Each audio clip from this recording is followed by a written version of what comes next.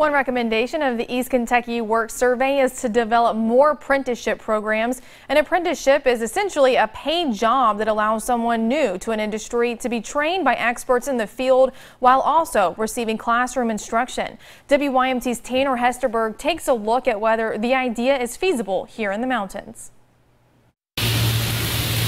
Apprenticeships may be the spark Eastern Kentucky's workforce needs. Research compiled by Boyette Strategic Advisors led to a recommendation that local education institutions help develop an aggressive apprenticeship program model, an idea championed by Scott Chrisman with the American Apprenticeship Roundtable. We need a climate that welcomes and pushes our education system to partner with industry and industry clusters uh, in a way that they've never done before. That effort may be bolstered if Congress passes the EARNS Act, which would set aside $100 million for apprenticeship programs. Hey, good morning. Hello, iron workers. The bill is co sponsored by Virginia Senator Tim Kaine, now the Democratic candidate for vice president.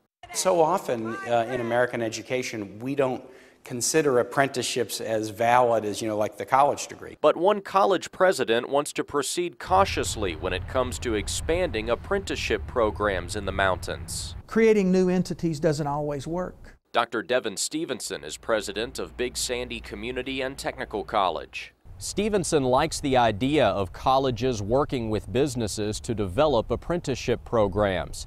But he wonders if there are enough suitable businesses here in eastern Kentucky to sustain such programs long term. Will we reach density very early? And the answer to that question is yes. So, uh, what, what we have to do is be careful. A call for caution as some leaders push for more on the job experience to combat the loss of jobs in the coal industry. Tanner Hesterberg, WYMT Mountain News.